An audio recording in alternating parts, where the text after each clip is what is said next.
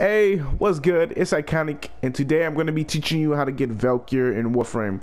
So you want to go to your navigation right off the bat, go to the planet Jupiter, that's the planet you're going to be in, and go to Themisto. And you want to click on that.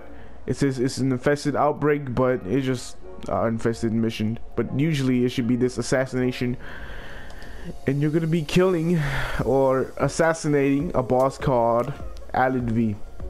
Since this is a boss farm and you're just here to kill the boss, complete the mission, you don't need to waste your time killing these enemies. Just follow the yellow waypoint and get to the boss.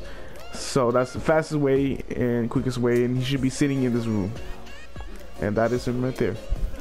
So the quickest way to kill, to take him down, is you gotta kill him, and then you gotta fight his hyena that always comes revive him. And if you don't kill the hyena robot or whatever it's called, quick enough, then he's gonna revive Alad V. So you gotta, once Alad V is down, then you just go after the hyena robot hybrid. I don't know what it is.